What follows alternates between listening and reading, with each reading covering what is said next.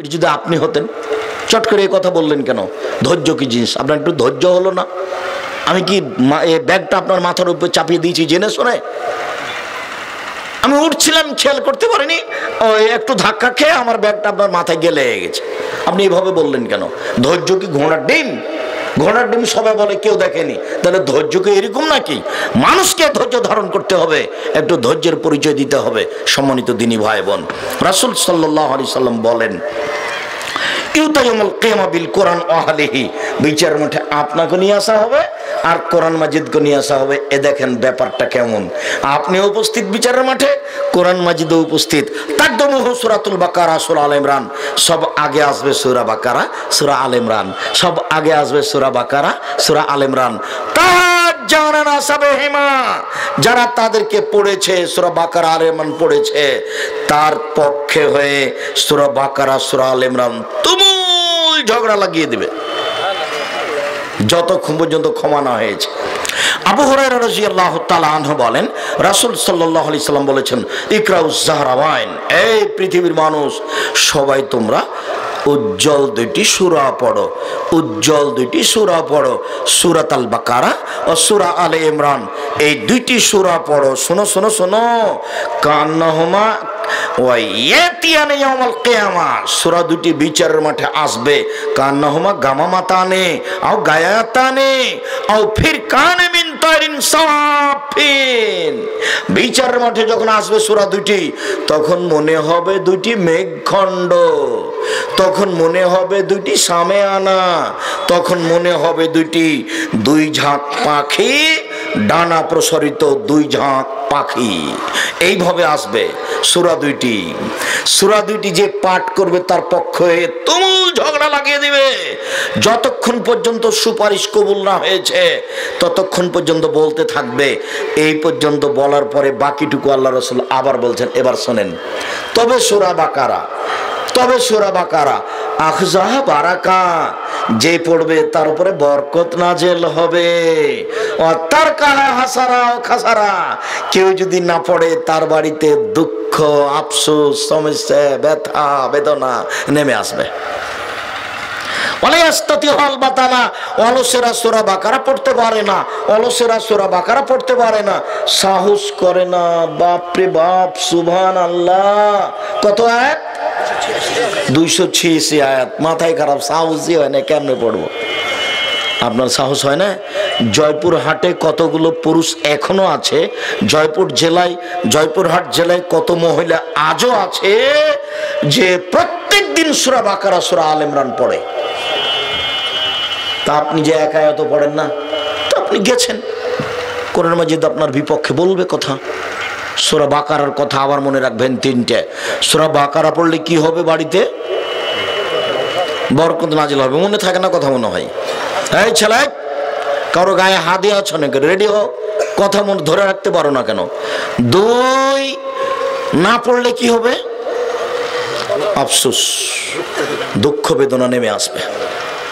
তিন অলসেরা পড়তে পারে না।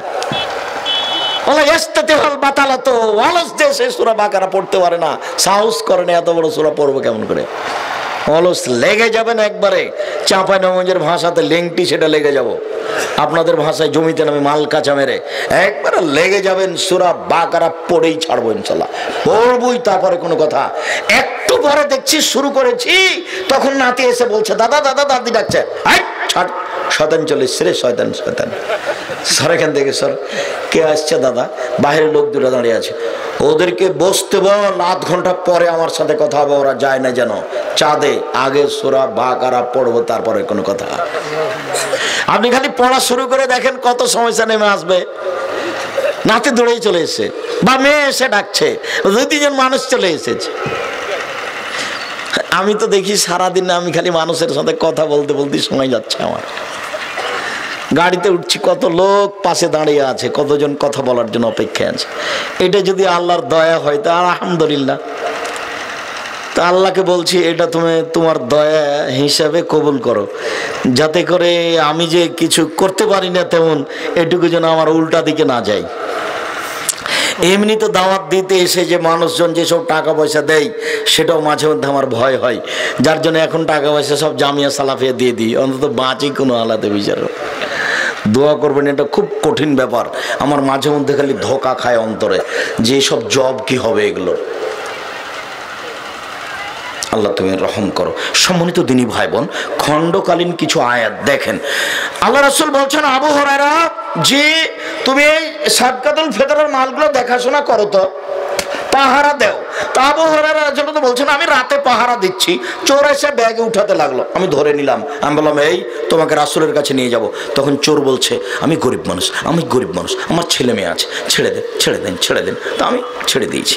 সকাল আল্লাহ রসুল বলছেন, আবু হরারা জি, চোরের সাথে কি আচরণ করেছ? আল্লাহ রসুল বলে, গরিব মানুষ ও নাকি ওর ছেলে মেয়ে আছে, আমি ছেড়ে দিয়েছি। আরে ও মিথ্যা কথা বলেছে, আবার আসবে। তখন মনে মনে বললাম ঠিক আবার আসবে। পরের দিন দেখি ব্যাগ ভর্তি করছে, ধরে নিলাম। আমি বললাম যে, তোমাকে রাসুলের কাছে নিয়ে যাব। তখনও বলছে, আর আসব না, আর আসব না, আর আসব না। তো কেউ যদি ভুল স্বীকার করে, তাহলে আপনি আবার বলবেন না, ভুল তোর দাঁত ভেঙে দেবো, এভাবে বলবেন না। ভুল স্বীকার করেছে, তখন তাকে সুযোগ দেন। ও বলেছে, আর আসব না। তখন আবু হরারা ছেড়ে দিয়েছেন। সকালে আল্লাহ রসুল বলছেন, আবু হরারা জি, চোরের সাথে কি আচরণ করেছ? আল্লাহ রসুল বলছে, আর আসব না, আর আসব না সেই জন্য ছেড়ে দিয়েছি। আর মিথ্যা কথা বলেছে, আবার আসবে। পরের দিন আবার এসেছে, ঠিকই ব্যাগে উঠাচ্ছে, আমি ধরে নিলাম। আমি বললাম যে, তোমাকে আজ ছাড়বো না। তখনও বলছে, শোনো আমি একটা কথা বলে দিই। এ আইতা এলা ফেরা আসে কা এ যাও, আইতা এলা ফেরা আসে কা যখন তুমি বিছানে শুইতে যাবা ফাঁকরা আয়াতুল কুরসি, তখন তুমি আয়াতুল কুরসি পড়ো। আল্লাহর পক্ষ থেকে একজন রক্ষক থাকবে সকাল পর্যন্ত। তোমার কোনো ক্ষতি হবে না। আয়াতুল কুরসি বিশাল কিছু। আল্লাহর গুণাবলিতে আপনি দেখবেন আবদুল্লাহর বক্তব্যে তাতে বুঝতে পারবেন আয়াতুল কুরসি কি জিনিস সম্মানিত দিনী ভাই বোন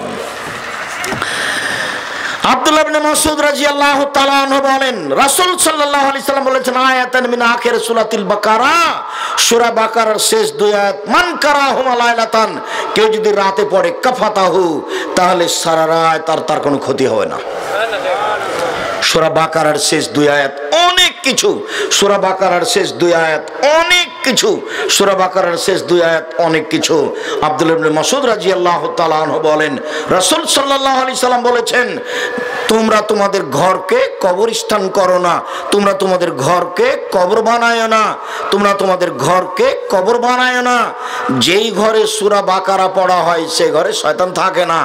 যেই ঘরে সূরা বাকারার শেষ দুই আয়াত পড়া হয়, সেই ঘরে শয়তান থাকে না। হ্যাঁ বাচ্চা বসো, ও বাচ্চা ভিতরে যাচ্ছে কোথায়? যে আমরা আলোচনা তো শেষ করবই।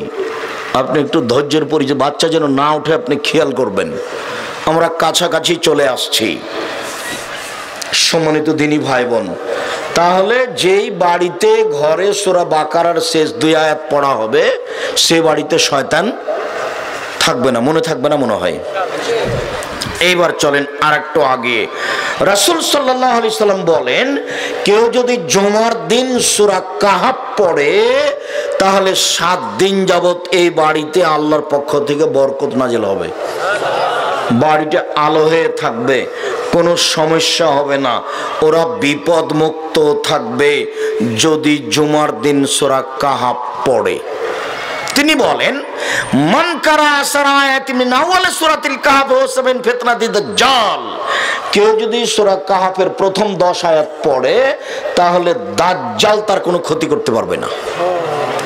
সব নবী কিন্তু দাজ্জালের ভয় দেখেছেন নিজ নিজ সম্প্রদায়কে। নূহ আলাই সালাম বলেছেন, এই তোমরা সাবধান দাজ্জাল থেকে। ইব্রাহিম আলাই সালাম বলেছেন, এই তোমরা সাবধান দাজ্জাল থেকে। আমাদের নবী বলছেন, এই তোমরা দাজ্জাল থেকে সাবধান। তারপর বলছেন, শোনো, কোন নবী অত বলতে পারেনি আমি যেটা বলে দিয়েছি। শোনো, আমি বলে দিয়েছি, দাজ্জালের মাথায় থাকবে কঁকড়া কঁকড়া চুল। দাজ্জালের পা হবে খাটো। হাঁটু থেকে না টাকনো পর্যন্ত এটা সাইজ হবে খাটো।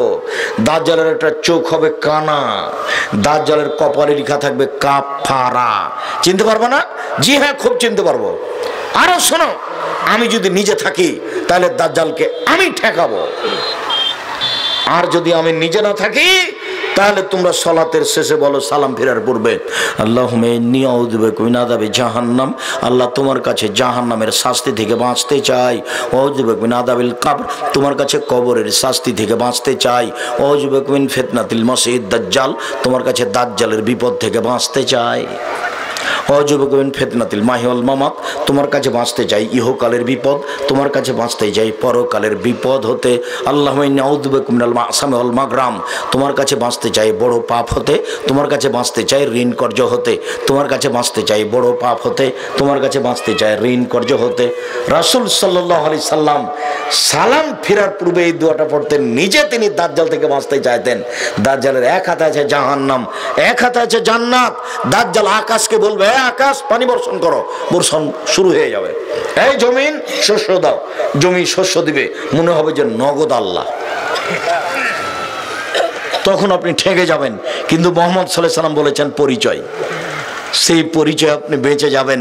সুরা কাপের প্রথম দশ আয়াত পড়লে তার উপরে দাজ্জালের কোনো ফেতনা থাকবে না। সাহাবি বলছেন, আল্লাহর নবী, আমি রাতে সুরা কাহাব পড়ছিলাম, দেখি একটা মেঘখণ্ড।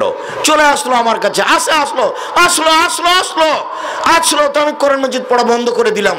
আমার পাশে আমার বাচ্চা ছিল, ঘোড়া ছিল।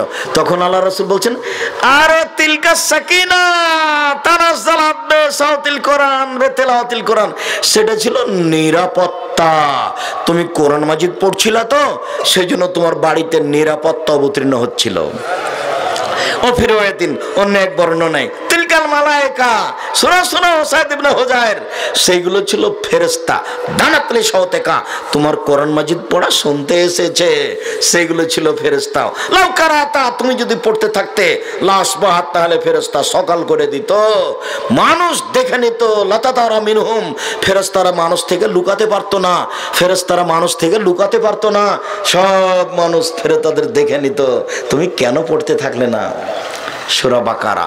রাস সুরা কাহাব রাসুল সাল্লাহ আলি সাল্লাম বললেন, আল্লাহর নবী সুরা মুল্ক আর সুরা সাজদা না পড়ে ঘুমাতেন না।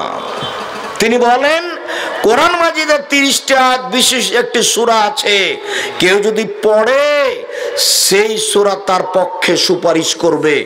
যতক্ষণ পর্যন্ত ক্ষমা না হবে, ততক্ষণ পর্যন্ত সুরা সরে যাবে না। তার নাম সুরা মুল্ক। চার শ্রেণির মানুষের কবরের শাস্তি হবে না। এক, পেট ব্যথায় মরে যে। দুই, জুমার দিনে মরে যে। তিন সুরা মুল্ক রাতে পড়ে যে, চার যুদ্ধে শহীদ হয় যে। আপনার জন্য একটা সহজ আছে, বলেন তো কোনটা? সুরা পড়া। যে চার শ্রেণির মানুষের কবরের শাস্তি হবে না, মনে থাকবে না মনে হয়। আচ্ছা তিনটাই না থাক, একটাই থাক, সেটা কি? শ্রমুল পড়েন বিশাল ব্যাপার। আয়েসা রাজি আল্লাহ আনহা যখন বলছেন আল্লাহ নবী যখন ঘুমাতে যেতেন, এদিকে দেখেন, ঘুমাতে যেতেন, তখন হাত দুটি জমা করতেন। সুরা এখলাস সুরা ফালাক, সুরা নাস পড়ার পরে এই শরীরের মাথা থেকে না মুখ পর্যন্ত শরীরের সামনের দিক ডলে দিতেন। আবার সুরা এখলাস ফালাক, নাস। সুর মাথা থেকে না মুখ সামনের দিক এভাবে মুছে দিতেন, আবার এভাবে তিনবার করতেন। ওকবাবিনা আমের বলছেন যে, আমরা একদিন রাসুলকে খুঁজতে বের হলাম, খুব অন্ধকার, খুব বাতাস, দেখে আল্লাহ রাসুলকে পেয়ে গেছি। তিনি বলছেন, শোনো ওকবা, পড়ো পড়ো পড়ো, কি পড়ব? আরে পড়ো না কি পড়ব? সোরা এখলাস পড়ো, ফালাক পড়ো, নাচ পড়ো, এক ফিকা মিনকুলে শাইন। পৃথিবীর সব সমস্যার জন্য যথেষ্ট। যে কোনো সমস্যা, যে কোনো বাধা, যে কোনো বিপদের জন্য যথেষ্ট হলো। সোরা এখলাস সোরা ফালাক, সোরা নাস ও বাবিনা আমের বলছেন, একদিন রাসুলের সাথে হাঁটছি রাতে, খুব বৃষ্টি, খুব অন্ধকার, খুব বাতাস। দেখছি আল্লাহ রসুল পড়ছেন সোরা ফালাকার নাস তারপরে আমি পড়তে লাগলাম। আমাকে বলছেন শোনক বা, পৃথিবীতে বিপদ থেকে বাঁচার জন্য এখলাস আর ফালাকের সমতুল্য দুনিয়াতে কোনো জিনিসই নেই। সুরা বাঁকারাও নয়। যখনই কোন তোমার কোনো বিপদ সমস্যা মনে হচ্ছে, ভূতের ভয় পাচ্ছ, জিনে ধরতে পারে, তুমি ফালাক নাস পড়ো, পৃথিবীতে বিপদ থেকে বাঁচার জন্য এই দুইটা সুরার উপর দিয়ে কোনো জিনিসই নাই। পৃথিবীতে কোনো নাই এই দুটো জিনিস সুরার উপর দিয়ে সম্মানিত দিনী ভাই বোন সমস্যার জন্য সুরা ফালাক, সুরা নাচ পড়বেন, অসুখ বিসুখের জন্য সুরা ফালাক, সুরা নাচ পড়বেন, সম্মানিত দিনী ভাই বোন বক্তব্যের শেষে এসে একটু ওসিয়ত। এক, পাঁচ অক্ত সলাত আদায় করবেন, নামাজ পড়বেন। জীবনে কোনো দিনের সাথে আপোষ করবেন না। আপোষ মানে আচ্ছা কাল থেকে পড়ব। এ কথা বলবেন না। আচ্ছা জোর থেকে পড়ব। এ কথা বলবেন না, প্রস্তুত। এখন থেকেই। ব্যতিক্রম এবাদত নামাজ সলাৎ এর সাথে কোনো আপোষ নেই। দুই, হালাল রুজি উপার্জন করবেন, চকলেট বিক্রি করে হলেও। আর জয়পুরহাট জেলার তো জমি স্বর্ণের দামে বিক্রি। তিন, চারটা ফসল হয়, আপনি চকলেট বিক্রি করবেন কেন? অনেক বড় ব্যবসায় আপনি। তিন, কোরআন মাজিদ পড়তে অভ্যাসী হবেন, সুরা এখলাস হলেও। সুরা এখলাস কয়বার? তিনবার। তিনবার পড়লে কি হবে? একবার কোরআন মাজিদ পড়ার সমান্য কি হবে? এই চলে সুরা হাসরের তিন আয়াত পড়লে কিছুই হবে না। কি হবে? অক্ষর প্রতি দশ নেকি হবে? সুরা ইয়াসিন পড়লে কিছুই হবে না। কি হবে? অক্ষর প্রতি দশ নেকি হবে? সুরা রাহমান পড়লে কিছুই হবে না। কি হবে? অক্ষর প্রতি দশ নেকি হবে? অতএব বিশাল কিছু হলো এখলাস। বিশাল বিশাল কিছু হলো এখলাস ফালাক নাস। বিশাল কিছু হলো সুরাবাকার শেষ দুই আয়। তারপরে আমার একটা দাবি মানতে হবে, সেটা হলো এই, জামিয়া সালাফিয়ার জন্য দোয়া করতে হবে। আমার মনে বড় সাদ এই দেশের মাটিতে আমি উন্নত মানের প্রতিষ্ঠান গড়বই গড়ব ইনশাল্লাহ যে কোনো মূল্যে, তার সম্মেলন রাজশাহীতে তেরো চোদ্দ ফেব্রুয়ারি আর ঢাকায় পাঁচ ছয় মার্চ। সাথে সাথে ভর্তির তারিখ পহিলা জানুয়ারি।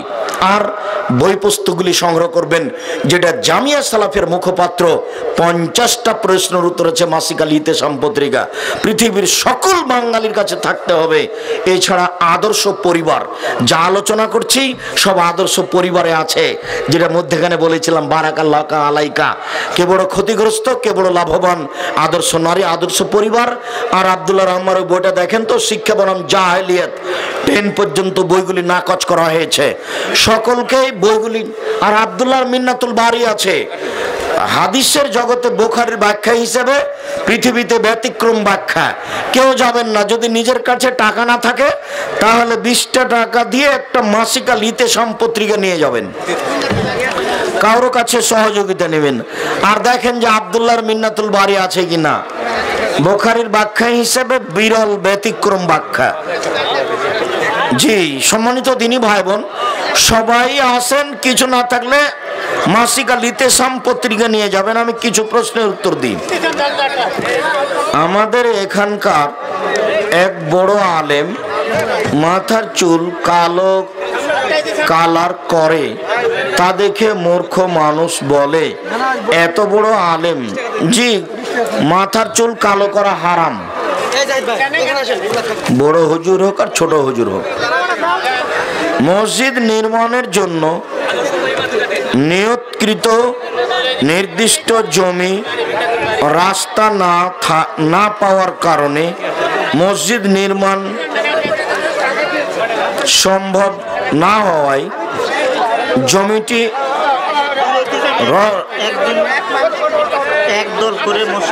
একদল করে মসজিদ নির্মাণ করা। যাবে কি? এওয়াজ বদল করে। জি জি। জমিটা পরিবর্তন করে দেন। আর সবাই পাবেন আমি তো আছি। সবাই বই পাবেন। আমি তো দেখবেন যে আপনার চলে যাওয়ার পরেও আছি। আমি সবাকেই বলছি যে টাকা থাকলে সবটাই বই রাখেন। মানে অতীব জরুরি। মরণ একদিন আসবে বইটা দেখেন। কেন এই নির্যাতন কি তার প্রতিকার? আবদুল্লাহ আর একটা বই আছে, আমরা হাদিস মানতে বাধ্য। এক শ্রেণির মানুষ জয়পুরহাট জেলায় দেখা দিয়েছে যে শুধু কোরআন মানলেই চলবে। তখন আবদুল্লাহ একটা বই লিখেছে, আমরা হাদিস মানতে বাধ্য। জমি এওয়াজ ফের করে মসজিদ করেন। ওইটা জমি আপনার ওটা মসজিদে চলছে না তো, ওটা আপনি নিয়ে নেন। যে রাস্তার পাশে মসজিদের জন্য জমি দেন, প্রয়োজনে কিনে দেন, তখন এটা নিতে পারবেন। ওই জমিটা হুবাহু কিনতে পারবেন না আপনি। এওয়াজ বদল করতে পারবেন। আজানের সময় ইসলামিক আলোচনা করা যাবে কি? প্রয়োজনে কোনো সময় করবেন, প্রতিদিন নয়। করতে পারেন। মানুষকে জাগানোর জন্য নয়, উপদেশ দেওয়ার জন্য। মহান আল্লাহর সৃষ্টি পরিবর্তন করা যাবে কি? যেমন দাঁত ছিলা, ভরু তোলা, এগুলো করা যাবে না। এগুলো কি দেখা হয়েছে?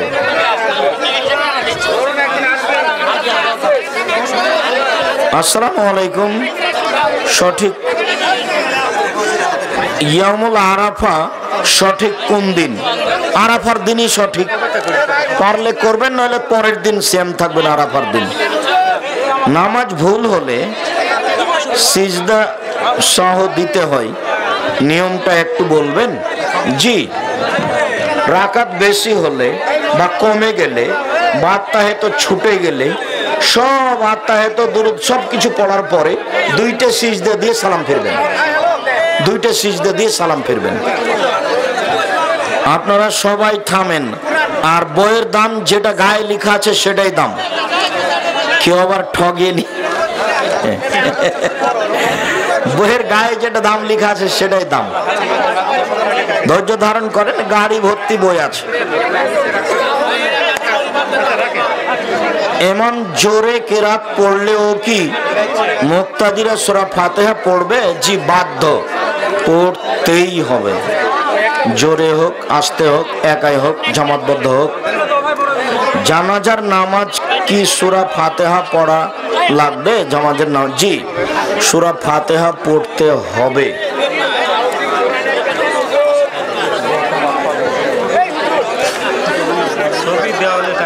ছবি দেওয়াল হ্যাঁ? ছবি দেওয়ালে লটকানো এবং ছবি তোলা। লটকানো হারাম। ঝুলানো হারাম। প্রয়োজন ছাড়া ছবি উঠানো যাবে না। জরুরি প্রয়োজন হতে হবে। ডক্টর মুসলেউদ্দিন সাহেব সেই দিন কালায়ের প্রোগ্রামে সাত ভাগে কুরবানি জায়জ বলেছেন। করেন। সাত ভাগে সাত জনে আছে। সাত পরিবারে নেই। যারা সাত ভাগে চলবে না বলছে তারা কিছু জানে না। আচ্ছা বলেছে বলেছে। ওই দিক আর মন খারাপ করিয়েন না। ভাগে কোরবানি করিয়েন না। সাতজন আছে সাত পরিবার নেই। আর সেই কালে মৌলানা আবদুল্লাহ কাফিয়াল করাইসি বলেছেন, একটা গরুতে দুইজন অংশ, সাতজন অংশগ্রহণ করবে, সাতটা পরে, এরকম কোনো হাদিস আমি জানি না। আর বাকি বলার প্রয়োজন আমি মনে করি না। যারা ডাক্তারদেরকে টাকা, ঔষধ, বিভিন্ন উপহারের বিনিময়ে তার কোম্পানির ঔষধ বিক্রি করার প্রচেষ্টা চালাই এটা প্রতারণা। হয়তো ঔষধ ভালো নয়। না, ওই প্রতারণার চাকরি হবে ওটা করা যাবে না। যদি ডাক্তার নিজ স্বাধীনতাই ডাক্তারি করতে পারে, তাহলে পারবে করতে। আসসালামু আলাইকুম। মেয়ে দেখতে যে যে মেয়েকে টাকা দেওয়া ঠিক কিনা? জি না, টাকা দেওয়া যাবে না।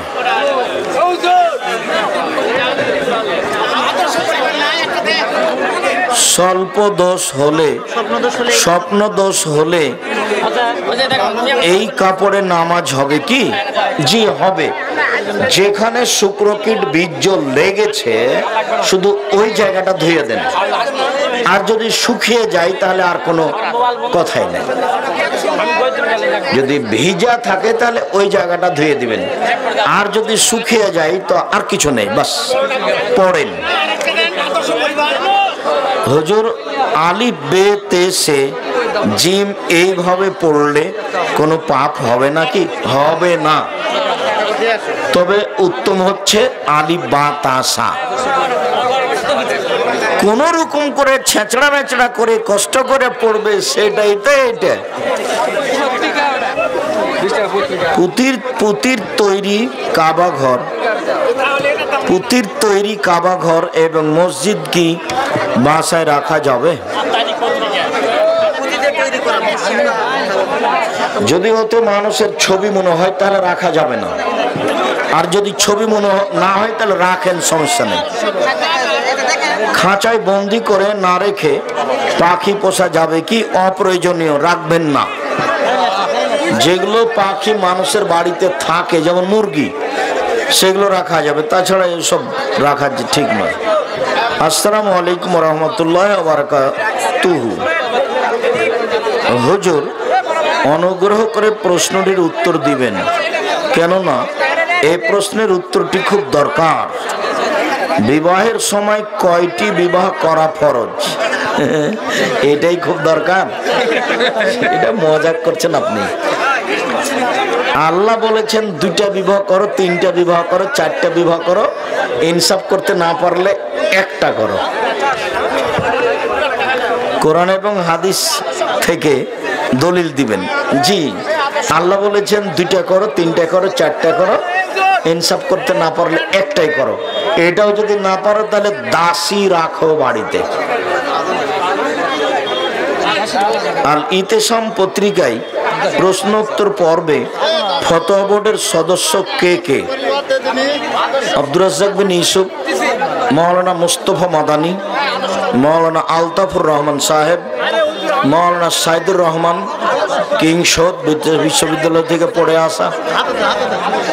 তারপরে মৌলানা আব্দুল বারি, তারপর মৌলানা গোলাম রব্বানি, তারপর মৌলানা আখতার আর কে দশ জন আছে। স্বপ্নদোষের মশালাটি স্পষ্ট হলো না। কেন? কি? স্বপ্নদোষ হয়ে কাপড় ভিজে যদি থাকে, স্বপ্নদোষ হলে গোসল করতে হবে। অসুখ বিসুখ তো তেমন করেন। যে যেই কাপড়ে শুক্রকীট লেগেছে, ওটা যদি দেখা যায় যে ভিজে আছে, তাহলে শুধু ওই জায়গাটাই ধুয়ে দিবেন। কাপড়টা ধর প্রয়োজন নেই। ধর, গোটাই ধন কাতে কি আছে? কিন্তু জরুরি সেটা যেটা হলো, শুধু ওই জায়গাটা ধুয়ে দিবেন। আর যদি কাপড়টা শুকিয়ে যায়, তাহলে আর ধোয়াই লাগবে না। আর কীভাবে বলতে পারি? না ও তো স্বপ্ন দোষ হলে গোসল ফরজ হয়। হ্যাঁ স্বপ্ন দর্শনে গোসল ফরজ হয়। যদি কাপড়ে ভিজা প্রমাণ হয় তাহলে। আর যদি কাপড়ে ভিজা প্রমাণ না থাকে, তাহলে গোসল করতে হবে না।